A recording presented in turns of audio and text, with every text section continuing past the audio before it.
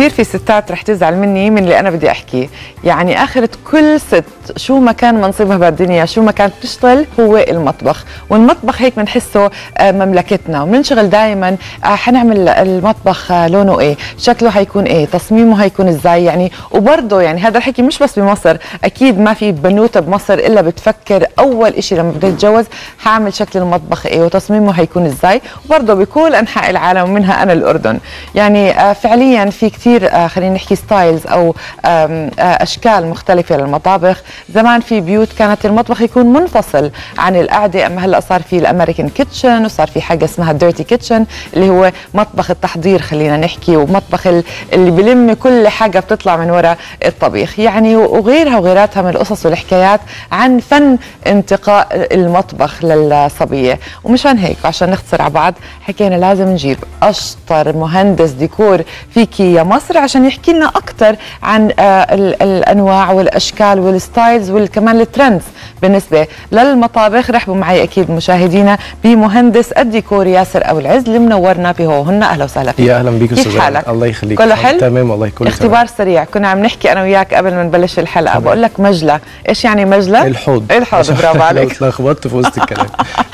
أهلا وسهلا فيك. شرفنا ونورتنا أكيد. أنا يعني زي ما حكيت قبل شوي أول ما نفكر انه أول ما البنت تخطب أو تج أو بدها يقرب فرحها بتفكر آه المطبخ.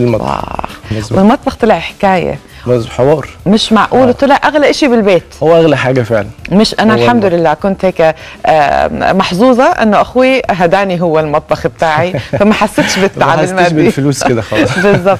بس فعليا فعليا مساحة المطبخ بتفرق آه شكل المطبخ بيفرق بالذات إذا البيت ال modern style أو خلينا نحكي البيوت التقليدية اللي كان منفصل بمحل ثاني هلأ آه بداية احكي لنا أنت آه لأنك أنت أكثر واحد مطلع فينا بالوقت الحالي عن إيش ال trends بالمطابخ.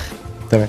في الأول كده أنا بشكرك جدا على الاستضافة الجميلة دي اللي هتخلونا نتكلم فيها عن المطابخ. على أوه. فكرة بغض النظر عن إن أنا مهندس أنا بحترم المطبخ اللي زي ما بتقولي كده هو المطبخ هو مكان الأكشن جوه المنزل. فبالتالي لو هو مظبوط كل حاجة في البيت بتبقى مظبوطة. فخلينا نقول كده إن أنا ب... على الجانب كده أنا بحترم المطبخ كمكان جوه الفراغ أو جوه الشقة معين فكمطبخ اللي طالع ترند فيه مبدئيا ال open kitchen بس خلينا نتكلم عنه لو في آه، مجال عن عيوبه ومميزاته لأنه طبعا ليه زي ما ليه مميزات فهو أكيد طبعا ليه عيوب صح. بس أنا بفضل طبعا ال open kitchen حتى في معظم ديزايناتي هتلاقي إني رايحه لاتجاه ال open kitchen لأن الطاقة بتاعته عالية جدا. مم. حتة إن ست البيت تبقى واقفة جوه المطبخ وهي شايفة الأسرة بتاعتها كلها وحاسة إن هي جواهم دايما ده بيديها طاقة ما بيخليهاش بقى تروح لإطار إن هي واقفة وقفة المطبخ أو إن هي اللي بس بخدم بالبيت ما بالظبط كده. لا بيبقى الموضوع بيختلف تماما فبالتالي طاقته عالية جدا. آه ولكن زي ما بيقولوا كده مفيش حلاوة من غير نار. لازم في حاجة هتبقى طبعا فيها عيب. ولكن الموضوع ده اتحل وهنتكلم عن النقطة دي إن الخصوصية طبعا بتكون آه، قليلة جدا لأن المطبخ مفتوح دايما. الموضوع الأدخنة والأبخرة والكلام ده كله ولكن برضو كل الكلام ده أصبح ليه آه، معالجة وليه حاجات بتعالجه ولكن هي بتبقى شوية إيه cost شوية. ولكن إلى حد ما بنحاول نلجأ لحلول وحاجات تكون برضو economic ما ترفعش تكلفة المطبخ لأن للأسف تكلفة المطابخ دلوقتي بقت عالية جدا. عالية جدا بالظبط آه للأسف. أصبح طيب هلأ في مطبخ عالي جدا. في عندنا open kitchen وعندنا يعني إيش أنواع المطابخ بالزبط. الموجوده عشان نمسك حتة حتة ون آه لو إحنا خدناه من حيث ال style فطبعا عندنا ال open kitchen اللي هو المطبخ الأمريكان بينقسم ممكن يبقى الأمريكان أو ال British لأن في ممكن يبقى في بار وممكن بدون بار اطلاقا. وأنا كنت أنا برشح دايما إن يكون في حاجة أو فاصل معماري ما بين المطبخ وما بين ال living أو ال reception اللي فاتحة عليه. okay. مش مفضل قوي إن إحنا أبقى في المطبخ مفتوح قوي كده. لأنه كده بينقل شعور المطبخ للمكان فبيبوظ المكان اللي هو جوه حلو. تمام؟ والحاجة الثانية اللي كلنا عارفينها طبعا اللي هو المطبخ ال closed. المطبخ ال closed مميز جدا في إنه بيديني مساحات تخزين عالية آه خصوصية عالية جدا. ولكن زي ما قلت لحد ما أنا حاسس إن أنا واقف جوه مطبخ مجرد إن أنا بعمل أكل وبطلعه بره. فالموضوع ما بيبقاش ما بيبقاش كده في الحيوية بتاعة المطبخ الأمريكي. حلو. لكن لو اتكلمنا بقى على المطابخ من حيث ال materials فدي أنواع كتيرة جدا. آه, آه حبة حبة يعلم آه عشان ما تدخلناش في مدى ما أنت تقولي لي انواع لا لو خدناها من كذا اتجاه ليها كذا اتجاه لكن من حيث ال style هو ال open وال closed بأنواعه بقى. okay وال open بنقسم بين British وأمريكان حكينا بالظبط كده. طيب هلأ آه خلينا نحكي آه إنه ال ال حسنات خلينا نحكي إنه ال open kitchen أنا زي ما أنت حكيت ست البيت بتحس حالها مش منعزلة بالظبط. وبنفس الوقت اللمة حلوة مرات لما يكونوا قاعدين بيشربوا قهوة مع بعض والتلفزيون شغال وهو. ديكور في حد ذاته يعني أنا أحيانا ما بعملش حاجة في reception خالص غير إن أنا أطلع المطبخ شكله حلو okay فبيبقى في حد ذاته هو قطعة ديكورية لذلك بقول دايما في اختيار ألوان المطبخ لو هو open لازم تختار بعناية جدا لأنه ممكن ياخد ال reception لحتة سيئة جدا. okay. لو هو open عليه. طيب وهلأ برضه من ضمن حسناته صححني إذا أنا غلطانة أنه كمان آه، أو سيئاته عفوا غير قصة الأدخنة والأبخرة اللي رح تحكي لنا عن حلولها أنه لازم المطبخ يكون مرتب 24 ساعة. على طول. وأنا عايشة ده حضرتك عشان هيك عم بحكي ده مش. منطقي دايما إن هو يبقى كده على طول. okay. فعملنا ال shutter بقى. دي نقطة لازم نتكلم عنها اللي هي؟ إن هو إزاي نخلي المطبخ open وفي لحظة معينة إن إحنا ننزل آه ستارة كده تقفل المطبخ تمام بس ما تبقاش ستارة عادية بقى. يمكن أنا كنت عملت فيديو عن الموضوع ده اللي هو ال shutter اللي هو الكهربائي اللي بينزل برضه بنعرف نوظفه في الديكور بحيث إن هو يبقى برضه لمسة ديكورية بياخدنا للأفضل دايما. ما بحبش إن إحنا ناخد الحاجة الاتجاه إن أنا أحل بالحاجة تاخدني بالاتجاه الأسوأ. okay. فال shutter يعتبر إضافة كويسة. على الجانب العملي. والجانب الديكوري برضه هو okay. كويس جدا. وبالنسبة للأدخنة والأبخرة اللي أنت عم تحكيها يعني هلأ هو بالظبط. في عم بنعرض هلأ حاليا آه بالنسبة آه لموضوع ده, ده ال shutter ال shutter okay. ده ال shutter يعني ده مطبخ open زي ما إحنا شايفين إحنا شايفين كل حاجة جوه المطبخ. صح. وبضغطه زرار واحد هو يبقى مطبخ closed أنا عندي آه بس تيجي فالموضوع تعملي الحتة آه. دي في الأردن؟ يعني- عجبتني صراحة. آه بصي وهو برضو لمسة ديكورية كويسة جدا. يعني. هو ما خلاش المنظر وحش.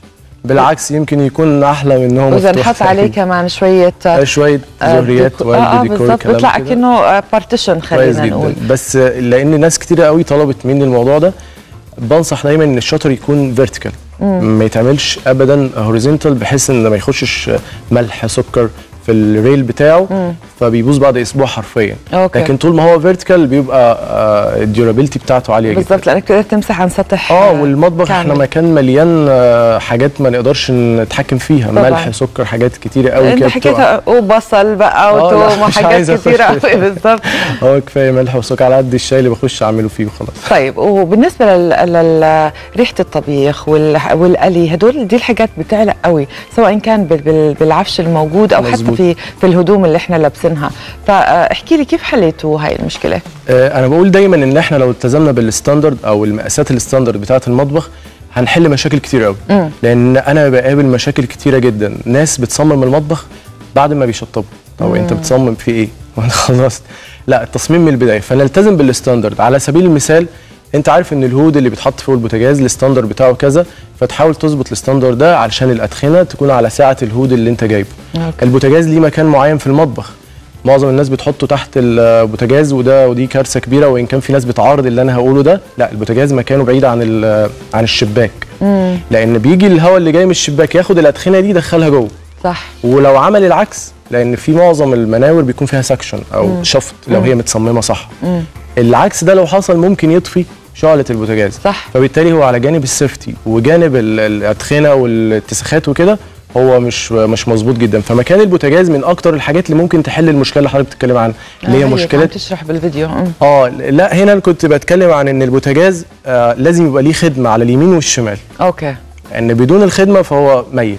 okay. وبيبقى خطر جدا لأن أنا المفروض أشيل البوتاجاز أشيل الحاجة من على البوتاجاز أحطها على المنطقة اللي جنبه. آه okay. لو أنا لفيت فأنا ممكن أعمل accident في المطبخ. وال accident دي ممكن تكون لا قدر الله وحشة جدا. آه بالظبط كده. ممكن. فلازم نراعي ال standard دي. لو اتراعت بمنتهى البساطة المطبخ بيطلع آه، شيك جدا وعملي جدا واستخدامه ومساحته مظبوطة بشكل كويس. طيب. هلأ برضه بالنسبة للمطابخ ال modern آه، كمان آه، بيعملوا حاجة اسمها island تمام. اللي هي بتيجي بنص المطبخ اللي هي زي أنتم بتقولوا الرخامة.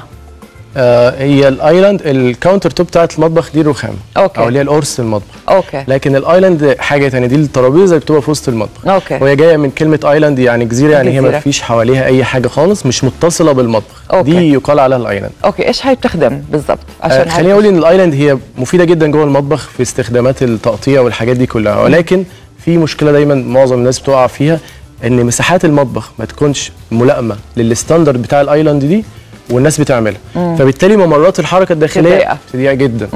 فاحنا عندنا standard يعني المسافة دي المفروض ما تقلش عن أرقام معينة. لأن لو المسافة قلت عن كده فالأفضل إن إحنا ما نحطش ال island خالص. وممكن نستبدلها بالبار الخارجي اللي هو فاتح على ال living أو ال reception اللي okay. إحنا آه، عاملين عليه المطبخ سواء لو هو open أو closed يعني لو closed طبعا مش هيكون حسب. مساحة المطبخ. حسب مساحة المطبخ. بتقرر يا island يا أما بتعمل فيش خارجي لأن island في مساحة ضيقة هي كارثة جوه المطبخ. طيب هلا آه، لاحظت كمان آه إنه مثلا في أنواع للرخامات. يعني سواء كان لل island أو للخدمات اللي بتكون موجودة مظبوط. حوالين البوتاجاز في ناس آه، ب- بتلجأ حتى آه، آه، لا مش الكوارتز. للرخام العادي ال quartz. quartz وال Corian والحاجات الصناعية. بالضبط. آه طبعا. هو أكثر واحد فيهم خلينا نحكي مش مكلف بس بنفس الوقت durable أو بيضل لفترة طويلة. بشكل سريع كده ال counter top أنا لا أفضل فيها الرخام اطلاقا بيكونوا جيولوجيا كده حجر رسوبي فبيبوظ من المية والبقع فيه بتظهر بشكل كبير. بالتدريج بعد يجي الجرانيت ولكن ألوانه محدودة شوية. صح.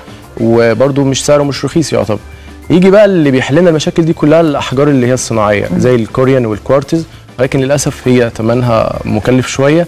بس أنا شايف إن ثمنها فيها بصراحة اللي. هي بتدي durability عالية جدا. مفيش تبقع الكسر بتاعها صعب.